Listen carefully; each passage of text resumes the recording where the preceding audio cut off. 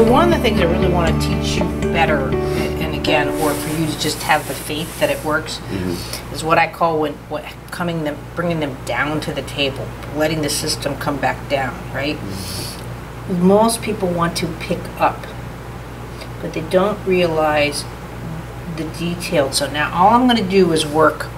I'm not moving you, mm-hmm. and I'm just going to show you working this whole section here until someone comes in, obviously. But so I'm just here, sort of like I'm playing a clarinet. So I might put my fingers here, but as you can tell, I'm not. Uh, visually, it looks like I've got. I'm using my thumbs, but I'm not. It's more like I'm, I'm playing the clarinet from behind, kind of thing. Now this is where I can use all my fingers in different tempos. So I'm not doing up, down, right? I'm doing, right, so, so top of the right coming down and then over to the left. So you feel how, this is where I always say it's sort of like playing a piano of some sort. So now see how I'm coming up on the right and still letting off on the left. I can go through the middle of my hand, middle. But as you can see with the baby, and that's hopefully what you'll see today, is when they move, the movement here is always the same up as it is down. Same kind of tempo, same kind of force. So it shouldn't be I go over and then fall. Mm-hmm. Right? Now to you, that's not a fall, but to a baby, that'll just take them right down to the ground. Mm-hmm.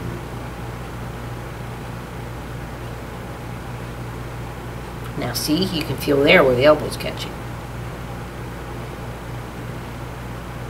That's different than right here. See the difference? Mm. But see, the elbow here wants to glide up, right? But when I go a little bit further and start adjusting the torque, the elbow doesn't want to, what I call cross midline. So just that little bit, that elbow there doesn't want to cross midline. Now, I know you can mm-hmm. throw it like 88 miles an hour right now, so I know the elbow can cross midline. However, in just a resting position, when you're just responding to my stimuli, you really right now should just be able to go boop, boop, boop, you know what I mean? And you're not. Hmm. Or same thing too, it's not that I put you on the table to brag. My point of like, you know, the other day with your vision, why isn't everybody like you? You know what I mean? If it's hmm. capable. Hmm. But most people can't handle that level of awareness and they close it down. But it's getting really bad with these damn cell phones. And I, I still stand by my predictions that you're about to see Alzheimer's go through the roof. You think it's funny people are falling into fountains? Well, good lord, you're going to be walking into retirement homes. See now the difference? Now I can start talking you through it. So in a sense, your body's trying to respond, but it's still not what I want it to do. I'm not trying to go, you know, fix it. So now I'm really trying to get in. So now see I can go detailed where my right hand's going down, where my left hand's going up. But that's a baby transferring, coming up to sitting. Mm. So again, when I touch a little baby and I don't feel this within their arm, that's where I'm like, oh, they're not sitting up or they're not. And people go, oh yeah, well, they're, you know. Mm. So now what I'm doing here is kind of like this. Oh, okay.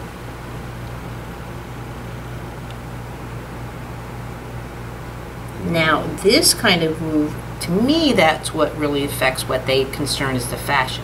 However, as you can see when I do that, if I go down, see bone, muscles, sideways stuff is a bit more fascia work, but you got to work on everything. To say you did a fascia release and, and you didn't do, you know, uh, that's just ignorant. I'm sorry. But that's the first time that elbow. And again, you can say I'm doing a different move, but now if you see the difference, see it's still wagging. Yeah.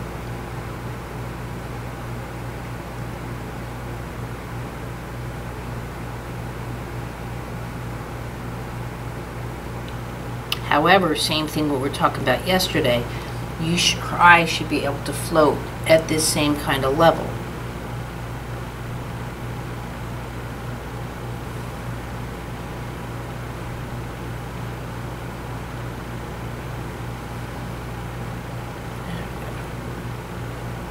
But now see again how my fingers are going to, in a sense, drop or bring down that arm.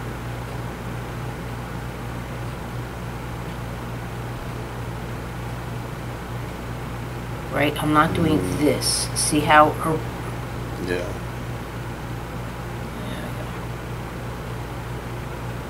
Now here, there's a little glitch. I went too far.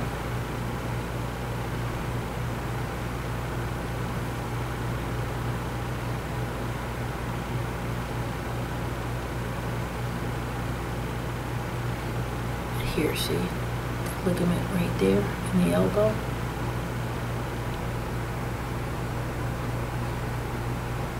Ah, See, now the elbow doesn't want to come down there. Now here, see the difference? Right? Yeah. versus here. See? You're like, uh, I don't think so. And even with this little bit, your breathing changing Mhm. just slightly. So again, could have been from a fall. It could have been from you got hit there. It could have someone grabbed you there. You know when they took you down. I don't know, and I don't care. Because it could be five incidents. You could have been in a car accident and that's where it hit your elbow. I don't, you know what I mean? Uh, This is where I'm gonna, see this is where I come in underneath and this is where I work really close with the babies.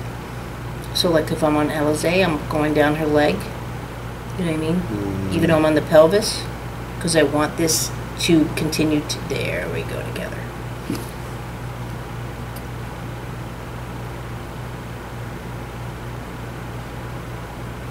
You See how? I'm not even going down.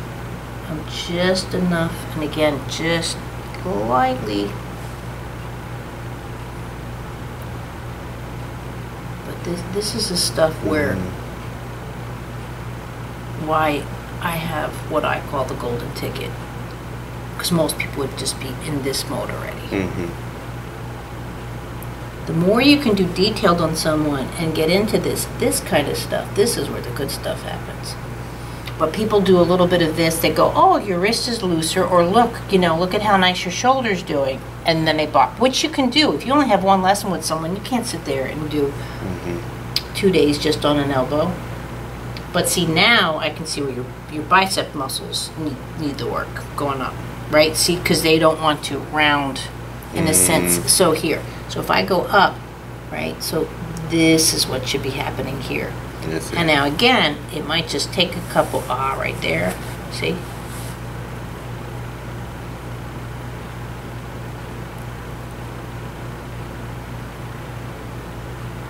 There, feel the pour where I say it's Mhm. like pouring water? But see now the difference? But you can feel all those little Yeah. catches that are happening. Oh yeah. And again, you might have one nice mass muscle, but if it's just one strand, you know what I mean? And that's where I think of like those giant puppets or whatever, not uh, puppets, but the balloons on the Macy's Day floats. You know, you got 10 guys, but if one guy's Mhm. not, you know. Oh yeah. There we go. So again, bringing down, bringing down, just making sure. There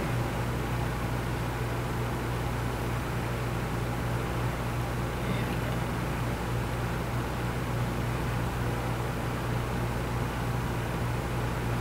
But it could be for someone that has carpal tunnel, all those kind of things. There we go. Ah, the bouncy. You Yeah. still caught it. Mm-hmm. So, again, I went too far. But it's something in that fall that you're like, mm, I don't know. Now, I might have to do something like this. Now, I'm going to, in a sense, be pushing within the crease of the elbow, but still to go down. Because I can't say right Mm. here to come down to me. You won't, you know. Mm-hmm. Mm-hmm. So I might. There we go. So now the down is also into the clavicles and the shoulder girdle. So I have to be just as equal. See, and that's where it's catching there. See it? Yeah. Just felt the pressure going there. So that's where I might say, okay.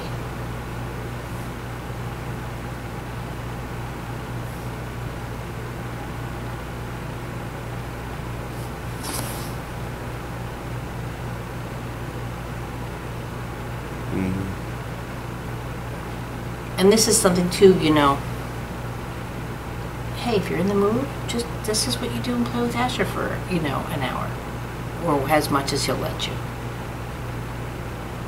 But if you don't think all his little metatarsals in his feet have never felt this sensation, especially like him, Cupcake, or whatever, as an example, even Aaron, when they're quote toe walkers, however you want to do it, what people Mhm. don't see is, to me, I look at that as gravity.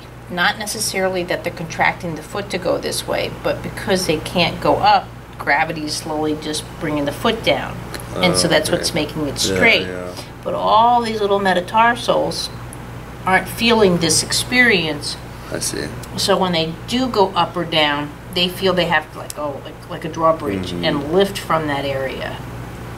And that's where people start stretching, which is the worst. There we go. And now I can go back to here. Yes, did I do the move before?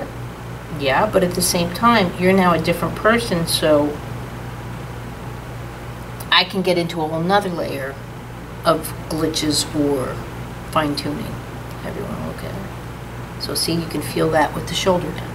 Whereas before I couldn't get past the elbow, The elbow. but now I can. And sometimes I might have to just, and I'll be talking and doing like this, but I still have my eye on the prize. Still, I'm maintaining the same thing. I can go in, see how my hand didn't change, Mhm, right? mhm. And then I can come in. See, that was better. And that's where, too, it might look like, quote, I'm not paying attention. My, my, my hands know what they're doing. They don't need my mouth or my brains.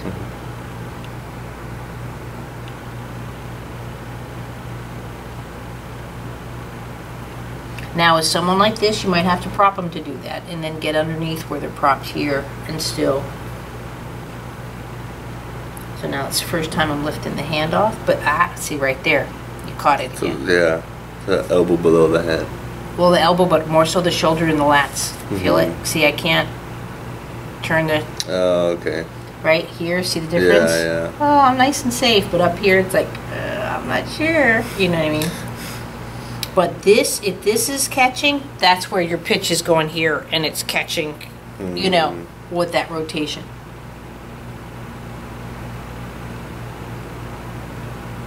Now, again, for some guys at the computer, you know what I mean? Like, not that who cares, but they're not looking to excel their, their bodies. That's a different story. But you start working with these big boys.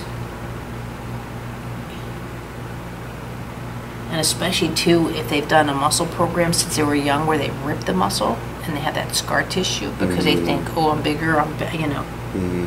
that's where you, you literally have to sit there and do this kind of stuff. It's not that they can't do the fine motor skills, they can't find the fine motor skills through all that. It's like going through a traffic jam and trying to get to where you need to go. So now what I'm doing here, talking about what we did with the foot, is now see, I'm going up into that elbow and again, letting the hand come down. Mm. And that's what I've been doing for with Alizé's tush for like a week straight. Because her tush goes this way, but she doesn't know this. See see how you're okay. dropping it? Yeah, yeah, yeah. But I'm just letting your weight do my job. There we go. Feel a difference all throughout, especially through the sternum? Yeah, that's where I'm feeling it. So now I'm coming up, now it's sort of blocked, but the reason it's blocked because your elbow just dropped. You know? Mm, okay. Your elbow's not up here or Yeah, whatever, it's already dropping down.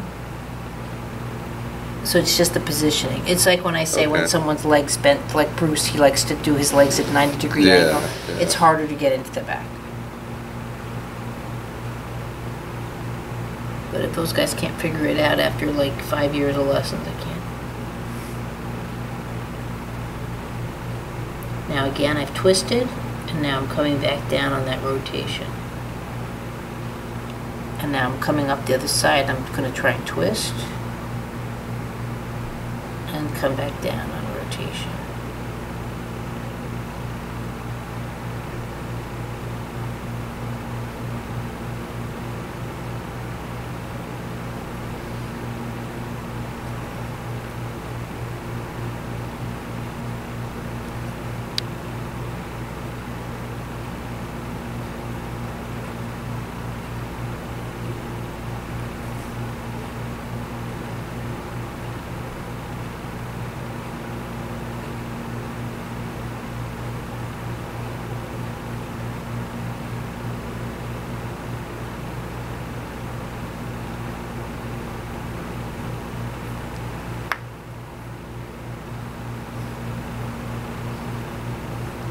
Feel a difference? Mhm.